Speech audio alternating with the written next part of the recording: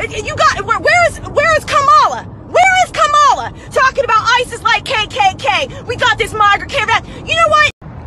A young lady took it in the chest at the Capitol building this week.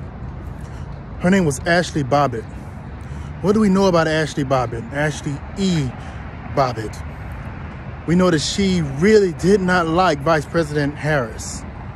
Here's a clip or a video, I guess. I'm not sure if she's on her way to going to the Capitol to um, commit, commence to the insurrection of, of, of, of breaking in to, to the point to where she had to be subdued by police. Check out this video and tell me what you think about this young lady that took it in the chest. Huh? Huh? You got where, where is where is Kamala? Where is Kamala talking about ISIS like KKK? We got this migrant caravan. You know what? We have thousands of people on the other side of the border. You people can't get to work. Our economy is going to take an an absolute tank because you guys refuse to choose America, America over your stupid political party. I am so tired of it. You have you try to make it with these wide angle lenses, and you you have to you try to make it that your echo chambers have these large followings.